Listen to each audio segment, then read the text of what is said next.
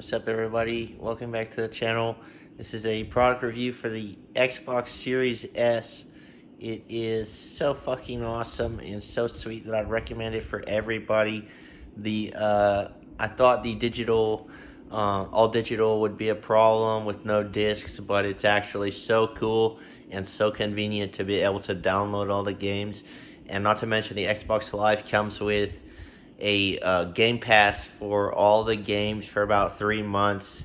Basically, as much as you can play, uh, you can just sign on and play the games on the cloud. Basically, you don't even have to install them on the Xbox. But anyway, I'm I'm here and I've got my Xbox Series S, just brand new setup, and um, I'm about to jump into Jedi Star, uh, Star Wars Jedi Fallen Order, which is a brand new Jedi game, and it's totally uh, free with the Game Pass on the Xbox, and I'm super excited.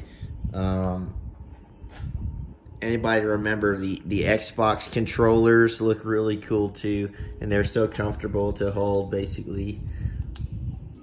But, uh, yep, I'm about to jump into this game and play all night, so wish me luck. Thanks a lot.